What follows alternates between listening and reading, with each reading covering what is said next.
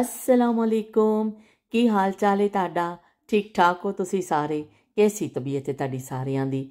ਅੱਲਾ ਕਰੇ ਤੁਸੀਂ ਸਾਰੇ ਹੱਸਦੇ ਰਹੋ ਤੇ ਬਸਦੇ ਰਹੋ। ਤੇ ਅੱਜ ਮਸ਼ੀਨ ਕੱਢ ਕੇ ਲੈ ਕੇ ਆਈ ਹਾਂ ਸਟੋਰ ਤੋਂ ਤੇ ਇਹਦੀ ਸਫ਼ਾਈ ਸ਼ੁਰੂ ਕਰਨ ਲੱਗੀ ਆ ਇਹਨੂੰ ਜ਼ਰਾ ਤੇਲ ਛੇਲ ਪਾਈਏ ਤੇ ਰਵਾਂ ਕਰੀਏ ਕਿਉਂਕਿ ਫਿਰ ਕਾਫੀ ਕੰਮ ਸਲਾਈ ਦੇ ਕਰਨੇ ਨੇ ਤੇ ਇਹ ਹੁਣ ਮੈਂ ਤੇਲ ਪਾਣ ਲੱਗੀ ਆ ਤੇ ਮਸ਼ੀਨ ਦੇ ਵਿੱਚ ਤਾਂ ਕਿ ਜਿਹੜੇ ਮੈਂ ਕੰਮ ਕਰਨੇ ਨੇ, ਫਿਰ ਨਿਪਟਾ ਦਵਾਂ। ਮੋਟੀ ਮੋਟੀ ਉੱਪਰੋਂ ਸਫ਼ਾਈ ਕੀਤੀ ਹੈ ਉੱਪਰੋਂ ਹੀ ਖਾਸਾ ਗੰਦ ਨਿਕਲ ਆਵੇ। ਤੇ ਜਿਹੜਾ ਅਸੀਂ ਬਣਾਣਾ ਵੇ, ਮੁਸਤਫਾ ਦਾ ਮੁਸਤਫਾ ਸੌਰੀ ਕਰੀਏ ਯਹਯਾ ਦਾ ਜਿਹੜਾ ਅਸੀਂ ਤਕੀਆ ਬਣਾਣਾ ਵੇ, ਚੌਲਾਂ ਵਾਲਾ ਸਰਾਣਾ ਉਹਦੇ ਵਾਸਤੇ ਇਹ ਸਾਰੀ ਤਿਆਰੀ ਜੇ ਵੇਖੋ ਵੀ ਕਿੰਨਾ ਇਹਦੇ ਚੋਂ ਗੰਦ ਨਿਕਲਿਆ ਪੂੰਝ ਪੂੰਝ ਕੇ ਵਾਈਪਸ ਦੇ ਨਾਲ ਬਹੁਤ ਮਸ਼ੀਨ ਸਾਫ਼ ਕਰ ਲਈ ਹੈ, ਦਰਾਜ਼ ਵੀ ਮੈਂ ਸਾਫ਼ ਕਰ ਲਿਆ ਹੈ ਹੁਣ ਸਾਰੇ ਧਾਗੇ ਮੈਂ ਆ ਦੇਣੇ ਨੇ ਵਿੱਚ ਵਾਪਸ।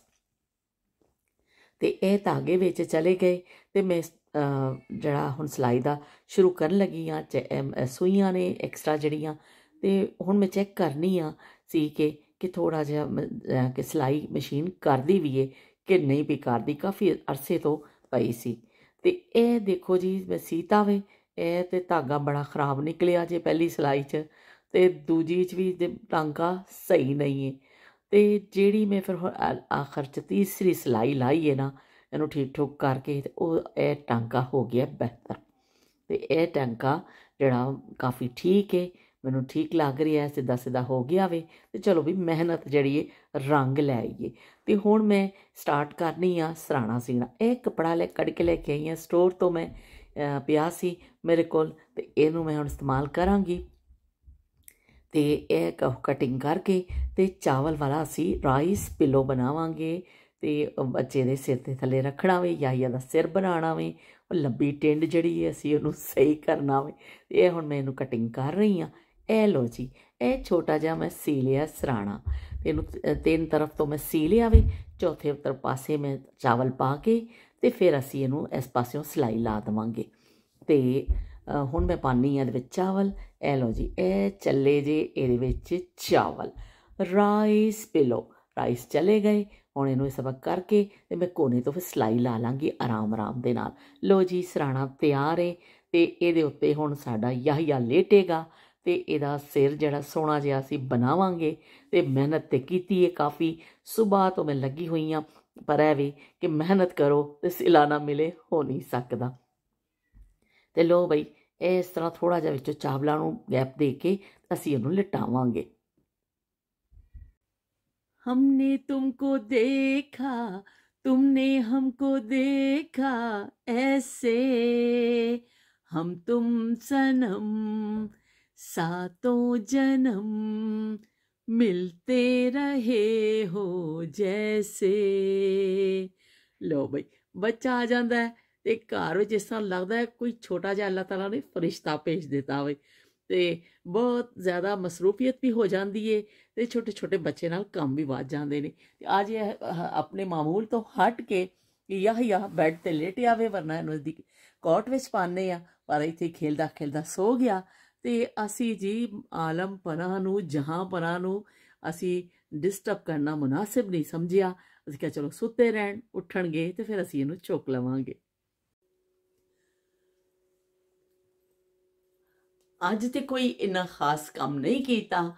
ਅੱਜ ਤੇ ਬਸ ਸਾਰਾ ਦਿਨ ਜਿਹੜਾ ਬੱਚੇ ਕੁਛ ਪਏ ਸਨ, ਅਸੀਂ ਕਿਹਾ ਚਲੋ ਫ੍ਰਿਜ ਵਿੱਚ ਥੋੜੇ ਥੋੜੇ ਥੋੜੇ ਸਾਰੀਆਂ ਚੀਜ਼ਾਂ ਪਈਆਂ ਨੇ ਤੇ ਅਸੀਂ ਉਹੀ ਅੱਜ ਖਾਵਾਂਗੇ। ਦੋ ਤਿੰਨ ਕਿਸਮ ਦੇ ਸਾਲਨ ਬਚੇ ਪਏ ਸਨ ਤੇ ਅੱਜ ਉਹ ਖਾਵਾਂਗੇ।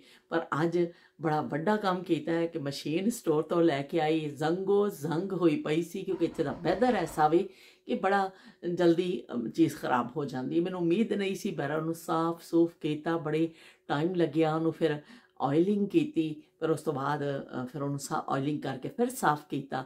ਔਰ ਫਿਰ ਉਹਨੂੰ ਤਾਗਾ ਸ਼ਾਗਾ ਪਾ ਕੇ ਰਵਾ ਸ਼ਵਾ ਕੀਤਾ, ਪਰ ਬੜਾ ਉਹਦੇ ਵਿੱਚ ਟਾਈਮ ਲੱਗ ਗਿਆ ਤੇ ਲੇਕਿਨ ਇਹ ਵੀ ਕਿ ਮੈਂ ਜਿਹੜੀ ਮੈਂ ਚੀਜ਼ ਬਣਾਉਣ ਵਾਸਤੇ ਇੰਨੀ ਮਿਹਨਤ ਕੀਤੀ ਸੀ, ਉਹ ਮੈਂ ਕਾਮਯਾਬ ਹੋ ਗਈ ਬਣਾਉਣ ਵਿੱਚ ਕਿ ਇਹ ਸਰਾਣੀ ਬਣਾਈ ਹੈ, ਛੋਟੀ ਸਾਰੀ ਸਰਾਣੀ ਬਣਾਈ ਹੈ, ਦੇਖੋ ਚਾਵਲਾਂ ਦਾ ਤਕੀਆ ਬਣਾਇਆ ਵੇ ਇਹ ਤੇ ਇਹਦੇ ਵਿੱਚ ਫਿਰ ਹੁਣ ਇਹਨੂੰ ਲਟਾਵਾਂਗੇ ਤਾਂ ਕਿ ਸਿਰ ਜਿਹੜਾ ਵੇ ਦਾ ਲੰਬੀ ਟੋਟੜੀ ਜਿਹੜੀ ਹੈ ਬੈਠੇ, ਸਿਰ ਲੰਬਾ ਨਾ ਹੋਵੇ। ਇਹਦੇ ਵਾਸਤੇ ਫਿਰ ਬੜੀ ਕੋਸ਼ਿਸ਼ ਕੀਤੀ ਕਈ ਦਿਨ ਤੋਂ, ਸੋਚ ਇਸਾ ਕਪੜਾ ਮੈਂ ਕੱਢ ਕੇ ਲੈ ਕੇ ਆਈ ਪਿੱਛੋਂ ਤੇ ਅੱਜ ਮੇਰਾ ਖਲ ਨਾਸ਼ਤਾ ਕਰਕੇ ਥੋੜਾ ਜਿਹਾ ਆਪਣਾ ਬਿਜ਼ਨਸ ਠੀਕ ਕਰਕੇ ਮੈਂ ਮਸ਼ੀਨ ਦੇ ਪਿੱਛੇ ਲੱਗੀ ਸਾਂ ਤੇ ਐ ਟਾਈਮ ਹੋ ਗਿਆ ਜੇ ਬਈ।